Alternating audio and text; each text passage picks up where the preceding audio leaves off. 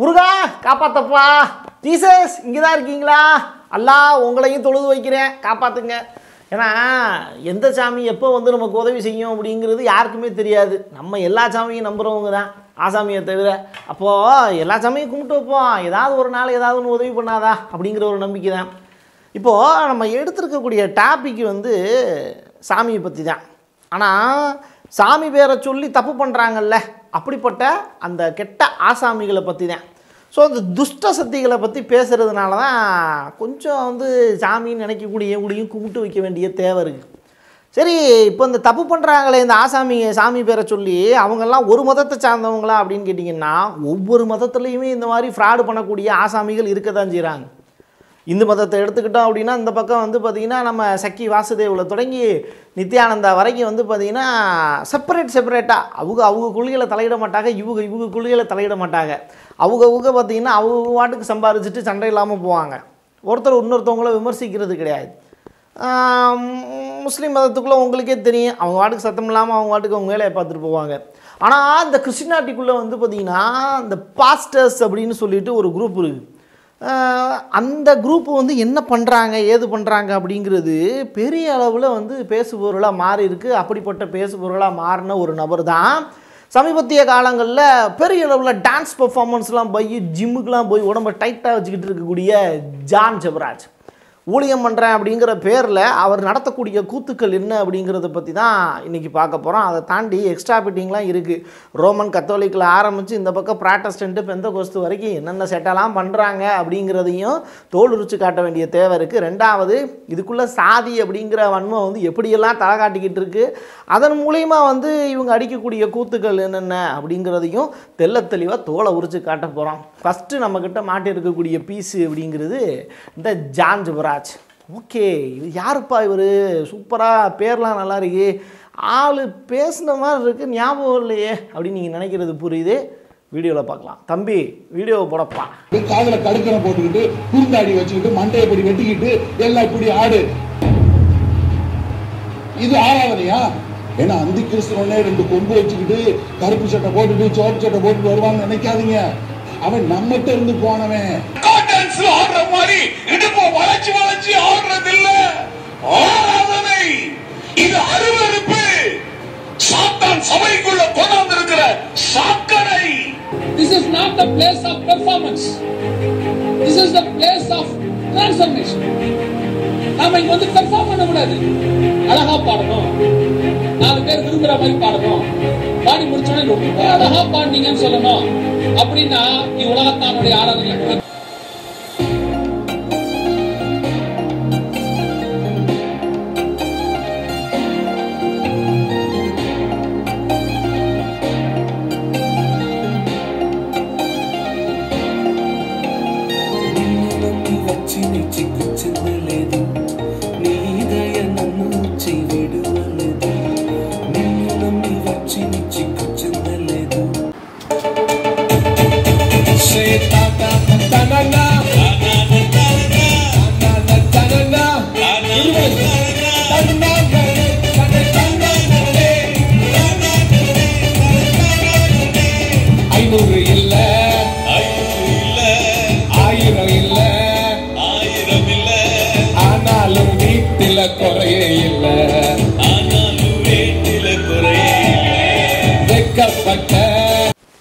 ரொம்ப அருமையான பர்ஃபார்மன்ஸை பக்காவாக பண்ணி காமிச்சிருக்காங்க. எப்படி சொல்கிறது இந்த ரோட்டில் வந்து பார்த்திங்கன்னா சரி ரைட்டு ஏதோ ஒன்று சண்டை போட்டுக்கிட்டு இருக்கோம்னு வச்சுக்கோங்க. அது மாதிரி ஒரே ஒரு தலைவன் தான். அந்த தலைவரை ஃபாலோ பண்ணக்கூடிய ரெண்டு பாஸ்டர்ஸுக்கு இடையில வந்து பெரிய அளவில் சண்டை இருக்குன்னு பார்த்தா நிறையா பேர் சேர்ந்து ஒருத்தரை மட்டும் கார்னர் பண்ணுறாங்க அப்படின்னா என்ன அர்த்தம்? இவங்கெல்லாம் சத்தமே இல்லாமல் இவ்வளோ காலம் துளி பார்த்துக்கிட்டு இருந்திருக்காங்க. இடையில வந்து ஜான் ஜபராஜ் அப்படிங்கிற இந்த கேரக்டர் மட்டும் உள்ளே பூந்து ஒட்டுமொத்த வருமானத்தையும் அள்ளிட்டு போயிடுச்சு. அப்படின்னா என்ன அர்த்தம்? ஒவ்வொரு ஊரில் இருக்கக்கூடிய மக்கள் எல்லாமே ஜான் ஜபராஜருடைய கூட்டத்துக்கு மட்டும் அதிகமாக வந்துக்கிட்டு இருக்காங்க அப்படின்னு அர்த்தம். சரி அப்படி என்ன பண்ணுறாரு இந்த ஜான் ஜபராஜ் அப்படின்னு கேட்டிங்கன்னா ஐநூறு இல்லை ஆயிரம் இல்லை ஆனாலும் எங்களுக்கு கவலை இல்லை. ஏன்னா ஆட்டை போடுறதுக்கு தான் மக்கள் நீங்கள் இருக்கீங்களே. ஸோ உங்ககிட்ட இருந்தால் ஈஸியாக எல்லா விஷயத்தையும் ஆட்டை போட்டுற முடியுமே. அப்போது வந்து சரி எப்படியெல்லாம் அவர் வந்து பிரசங்கம் பண்ணுறாரு எப்படியெல்லாம் வந்து மக்களை கேன்வாஸ் பண்ணுறாரு அப்படின்னு கேட்டிங்கன்னா ஒரு பெரிய அளவில் உண்டியெல்லாம் கிடையாது. போகிற இடங்களுக்கு பூரா வந்து தன்னை மியூசிக் ஆர்கெஸ்ட்ராவை கூட்டு போயிடுறாரு. எப்படி வந்து பார்த்திங்கன்னா நம்ம ஊர் உலகத்தில் வந்து நம்ம வந்து வீடு வீடாக போய் வந்து நம்ம வித்தை காட்டி காசு வாங்குவாங்க. அது இந்த நரிக்குறவர்களாகட்டும் அதுக்கப்புறம் வந்து பார்த்திங்கன்னா அவங்கள உழைக்கும் மக்கள் அவங்களாம் தவறாக சொல்லக்கூடாது.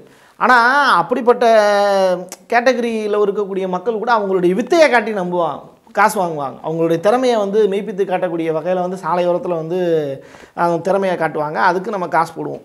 ஆனால் இவர் வந்து பார்த்திங்கன்னா சாமி பேரை யார்? ஜீசஸ் கிரைஸ்டோட பேரை வந்து சொல்லி உங்களை வந்து நோயை குணமாக்குறேன் இயேசு கிறிஸ்துவனுடைய பாடல்களை பாடி காட்டுறேன் அப்படின்னு சொல்லிட்டு ஒரு பாப்பிசை பாடகராக வந்து தன்னை வந்து காமிச்சிக்கிட்டு அதுவும் சூப்பராக வந்து பார்த்திங்கன்னா ட்ரெஸ்ஸிங் சென்ஸ்லாம் வந்து பக்காவாக இருக்கும். தன்னோட ஆர்கெஸ்ட்ரா குரூப்போட வந்து வந்து கீபோர்ட்லாம் வந்து போட்டு அப்படிப்பட்ட நபர் வந்து யார் அப்படிங்கிறத தெரிஞ்சுக்கிறது வந்து ரொம்ப முக்கியமான ஒரு விஷயம். ஏன்னா சமூகத்தில் வந்து எது போலி எது உண்மை அப்படிங்கிறது தெரிஞ்சாதானே மக்கள் வந்து உண்மையை தேடி போக வாய்ப்பாக இருக்கும். அதுக்கு ஒரு சின்ன ஒரு உதவியாக இருக்கட்டுமே இந்த வீடியோ அப்படிங்கிறதுக்காக தான். சரி இந்த ஜான் ஜபராஜ் அப்படிங்கிற இந்த கேட்டகரியில் இருக்கக்கூடியவர் வந்து பார்த்திங்கன்னா திருநெல்வேலி மாவட்டம் செங்கோட்டையிலேருந்து வர்றாரு. சின்ன வயசுலேருந்தே தலைவருக்கு இந்த பாட்டு பாடுறது மியூசிக்கு அதில் ரொம்ப இன்ட்ரெஸ்ட்டு ஆனால் சினி ஃபீல்டுக்கு போனால் வந்து பெரிய அளவில் வாய்ப்பு கிடைக்குமான்னு பார்த்தீங்கன்னா ஏழையான குடும்பம். அப்பா வந்து பார்த்திங்கன்னா ஒரு சாதாரண நடுத்தர குடும்பம் தான். பெரிய பின்புலம்லாம் கிடையாது. ஆனால் படித்த லைட் லைட்டாக மேலே வர்றாரு. அதுக்கப்புறம் வந்து ஒரு பாஸ்டருக்கு உண்டான தகுதியோடு வெளியில் வராப்பில். படித்து முடிச்சுட்டு அதெல்லாம் வந்து கரெக்டாக சர்டிஃபிகேட்லாம் வச்சுருக்காப்பெல்லாம் சூப்பர் எல்லாமே ஓகே குட்டு இப்போ என்ன பண்ணுறாரு இவர் வெளியில் வந்ததுக்கப்புறம் மற்ற பாஸ்டர்களுக்கெல்லாம் பெரிய அளவில் போட்டியாக இருக்கக்கூடிய வகையில் ஏகப்பட்ட சேட்டையை பண்ணுறாப்புல என்னென்னா ஜீசஸ் கிரைஸ்ட் வந்து பார்த்திங்கன்னா இயேசு கிறிஸ்து முடமானவங்களை நடக்க வச்சார் கண் பார்வை தெரியாதவங்களுக்கு வந்து குணமாக்குனாரு அப்படின்லாம் பைபிளில் வந்து உண்மையான வசனங்கள்லாம் இடம்பெடுத்திருக்கும் இவங்க யார் எழுதியிருக்காங்க என்ன எழுதியிருக்காங்கங்கிறது டீட்டெயில்டாக இருக்கும். ஆனால் இவங்க இந்த மாதிரியான பாஸ்டர்ஸ் என்ன பண்ணுறாங்க தன்னுடைய வருமானத்துக்காக எப்படி? ஜீசஸ் கிரைஸ்ட் வந்து எதுவுமே எதிர்பாராமல் வந்து ஒரு விஷயத்தை வந்து செஞ்சு கொடுத்துட்டு வந்தார். ஆனால் இவர் என்ன கேட்குறாரு ஜெட் ஏர்வேஸ் கேட்குறாரு ஜெட் ஏர்வேஸாக அது என்னது? ப்ரைவேட் ஜெட்டு வேணுமா? எப்படி? மக்கள்கிட்ட வந்து பார்த்தீங்கன்னா இனிமேல் ஊழியெல்லாம் நான் வந்து தரையிலலாம் வந்து பண்ண மாட்டேன். இனிமேல் வரக்கூடிய பாஸ்டர்ஸ்லாம் வந்து இனிமேல் வரக்கூடிய காலங்களில் நாங்கள் தரையில் வந்து கார்லலாம் வந்துலாம் பண்ண முடியாது. ஃபுல்லாக வந்து என்னோடய டைம் வேல்யூ தெரியாமல் பேசிக்கிட்டு இருக்காங்க ப்ரைவேட் ஜெட்டு வாங்கி கொடுங்க அதில் வந்துட்டு போகிறேன் அப்படிங்கிறாப்புல. அதுக்கப்புறம் வந்து பார்த்திங்கன்னா இவருடைய ஆராதனையே வந்து ரொம்ப டிஃப்ரெண்ட்டான ஒரு ஆராதனையாக இருக்குது ரெண்டாவது இவர் வந்து ஏகப்பட்ட விஷயத்தை வந்து சொல்லிக்கிட்டு இருக்காரு. ஒன்று பாட்டு பாடுறதுனால வந்து நோயை வந்து குணமாக்கிட முடியும் அப்படிங்கிறாரு. அப்படி பாட்டு பாடியே நோயை குணமாக்கிட முடியும் அப்படிங்கிற கான்செப்ட் இருந்துச்சு அப்படின்னா இன்றைக்கி எதுக்கு மருத்துவர்கள்லாம் படிச்சுட்டு சும்மாவை சுற்றிட்டு இருக்காங்க? அப்போது எதுக்கு மருத்துவம்னு ஒன்று இருக்குது அப்போ அவங்கெல்லாம் டாக்டர்லாம் வந்து வீட்டுக்கு அனுப்பிச்சிடலாமா? இவரே வந்து பாட்டு பாடி எல்லாத்தையும் சரி பண்ணிடுவாரா? அப்படிங்கிறது தெரியல.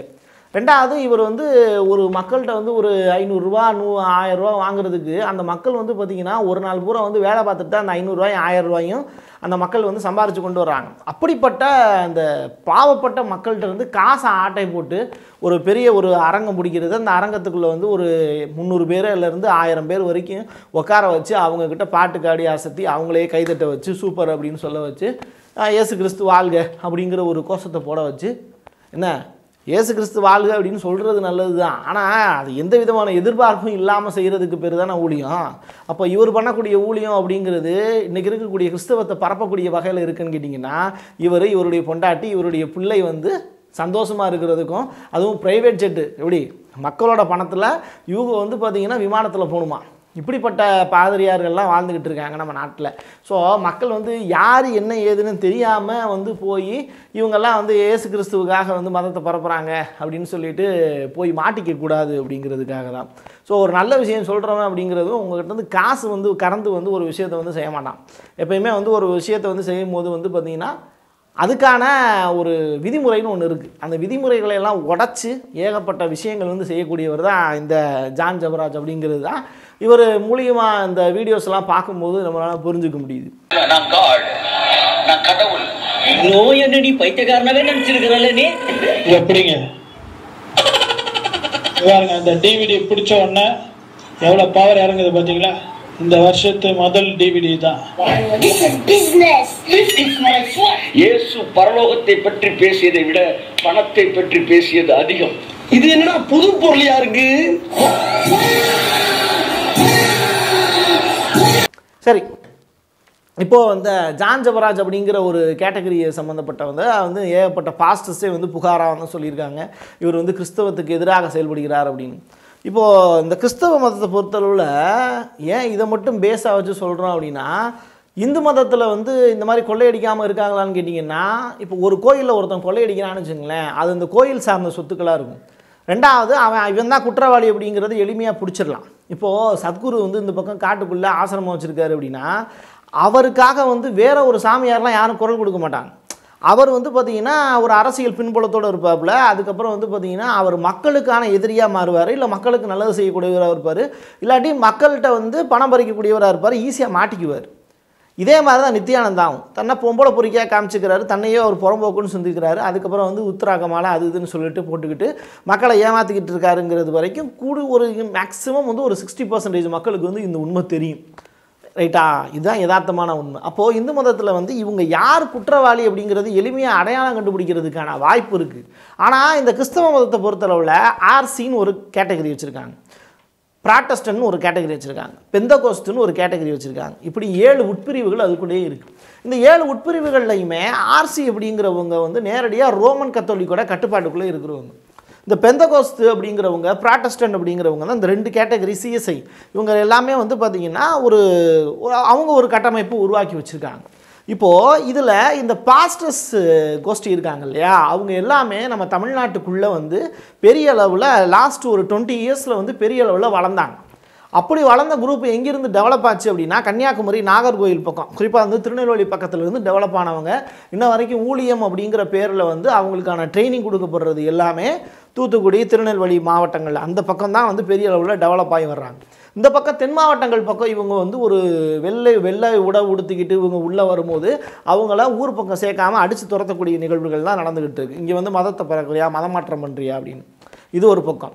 இப்படி தனக்கு தெரிஞ்ச ஒரு விஷயத்த அடுத்தவங்க கிட்ட சொல்லி கொடுக்கணும் அப்படின்னு நினைக்கிறது ஒரு பக்கம். ஆனால் அதையே ஒரு முழு நேரமாக வேலையாக மாற்றிக்கிட்டு எப்படி?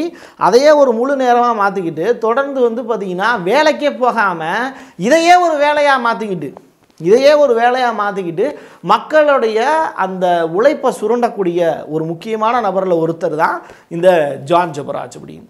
இவரை பற்றி ஏகப்பட்ட விமர்சனங்கள் வந்திருக்கு. இவருடைய சொத்து மதிப்பு எவ்வளவு என்ன ஏது அப்படின்னு சொல்லிட்டு இன்ன வரைக்கும் யாருக்கும் தெரியாது. எப்படி வந்து பார்த்திங்கன்னா காருண்யா பல்கலைக்கழகம் வச்சுருக்கக்கூடிய அந்த கோஷ்டியாகட்டும் அதுக்கப்புறம் வந்து பார்த்திங்கன்னா இப்படி கிறிஸ்தவ மதத்துக்குள்ளே ஏகப்பட்ட கோஷ்டிகள் வந்து பார்த்திங்கன்னா தன்னுடைய குடும்பத்தை வந்து வருமானத்தை பெருவிக்கிறதுக்காக நடத்தப்பட்ட கூட்டங்கள் ஏராளம். அதுக்காக மக்கள் கொடுத்த காசுகள் ஏராளம்.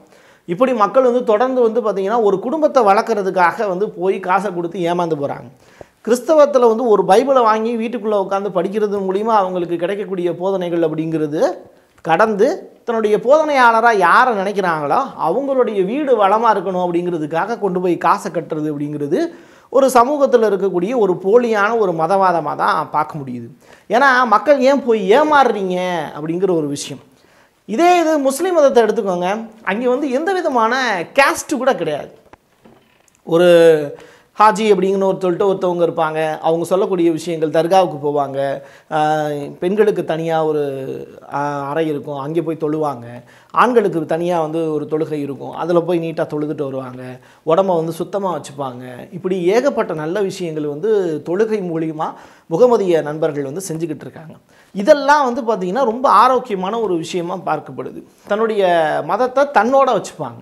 இப்போ இந்து மதத்தில் கூட வந்து பார்த்திங்கன்னா அந்த விஷயத்தை வந்து தொடர்ந்து வந்து பார்த்திங்கன்னா நல்ல விஷயங்கள் சொல்கிறத தாண்டி கெட்ட எடுத்துக்காட்டுகள் அப்படின்னு எழு உதாரணமாக ஏகப்பட்ட எடுத்துக்கா நித்யானந்த மாதிரியான ஏகப்பட்ட எடுத்துக்காட்டுகள் இருக்குது கிறிஸ்தவ மதத்தில் இந்த மாதிரியான பாதிரியார்கள் போலி பாதிரியார்களும் போலி பாஸ்டர்களும் தொடர்ந்து வந்து உழவிக்கிட்டு இருக்காங்க.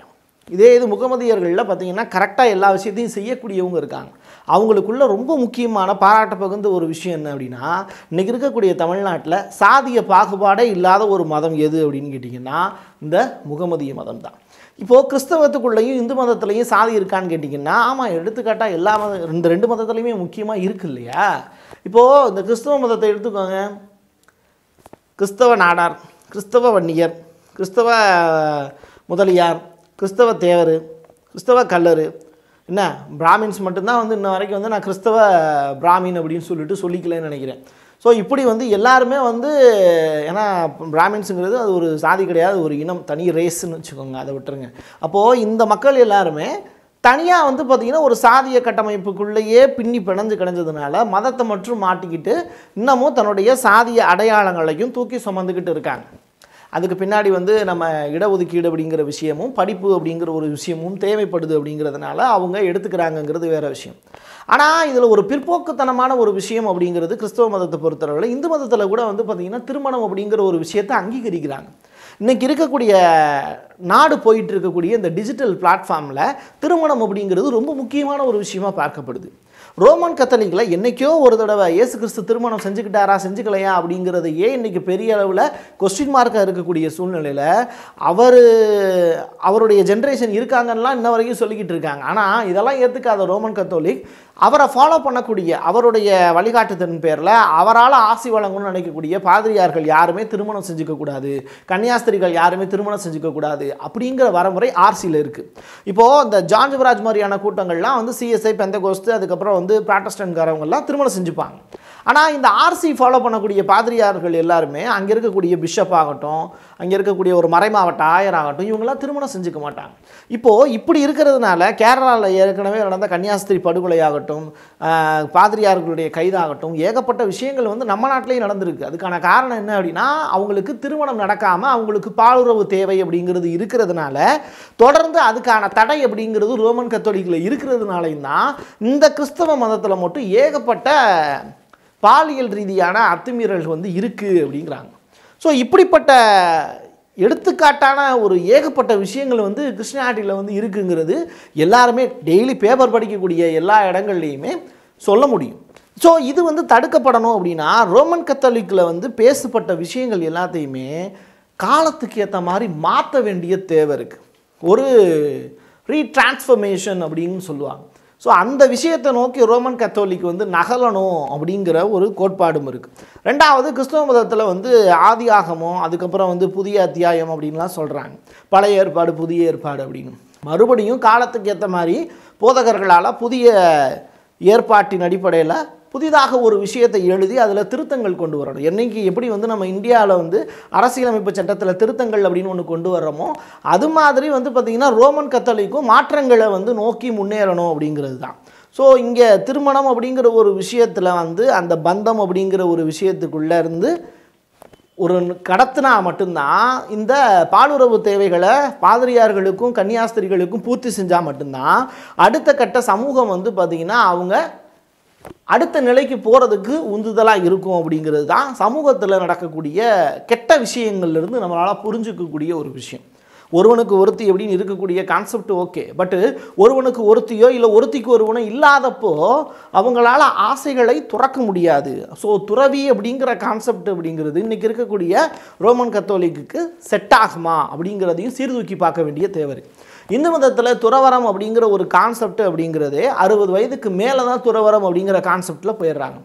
இதே இது முஸ்லீமை பொறுத்தளவில் தன்னுடைய இனத்தை பெருக்கிறதுக்காக வந்து ஒருத்தன் கண்டிப்பாக வந்து திருமணம் செஞ்சுக்கணும் அப்படிங்கிறது கட்டாயமாக இருக்குது இப்படி நம்ம நாட்டில் வந்து அதீத மதங்கள் வந்து இருந்தாலுமே மூன்று மதங்கள் அப்படிங்கிறது தான் பெரிய அளவில் இருக்குது அப்படிங்கிறதுனாலையும் இதில் இருக்கக்கூடிய சின்ன சின்ன பிரச்சனைகளையும் இதுக்குள்ளே இருக்கக்கூடிய சாதி ரீதியான பிரச்சனைகளையும் நம்ம தூக்கி எரிஞ்சிட்டு நம்ம எல்லாம் சகோதரர்கள் அப்படிங்கிற ஒரு எண்ணப்பாட்டோடு நம்ம ட்ராவல் பண்ணும்போது இந்த நாடு நிச்சயமாக வளம் நிறைந்த நாடாக இருக்கும் அப்படிங்கிறதுல மாற்றுக்கிறது இல்லை. அதே நேரத்தில் பொய்யான நபர்கள்ட்ட இருந்து நம்மெல்லாம் தப்பிச்சுக்கிறதுக்கு நமக்கு வந்து இந்த ஆறாவது அறிவாக இருக்கக்கூடிய பகுத்தறிவையும் சிந்திச்சு பார்க்க வேண்டிய தேவை ஸோ இன்றைக்கி இருக்கக்கூடிய காலகட்டத்தில் யார் போலி மதவாதிகள் அப்படிங்கிறத தெரிஞ்சுக்கிட்டோம் அப்படின்னா மதமாற்றம் அப்படிங்கிற ஒன்று ஆரோக்கியமானது. ஆனால் இன்றைக்கி மதமாற்ற தடை சட்டம் அப்படிங்கிற ஒரு விஷயத்தை எதிர்த்து போராடிக்கிட்டு இருக்கக்கூடிய நம்ம ஒரு மதத்திலிருந்து இன்னொரு மதத்துக்கு மாறும்போதும் சரி இன்னொரு மதத்திலிருந்து மறுபடியும் இன்னொரு மதத்துக்கு மாறினாலும் சரி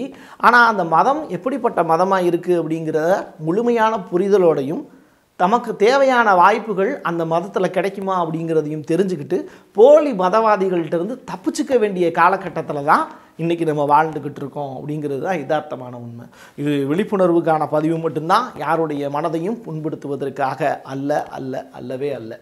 ஏன்னா என் கையெழுத்து என் மக்களுக்கானது. மீண்டும் ஒரு நல்ல பதிவில் சிந்திக்கிறேன். நன்றி வணக்கம்.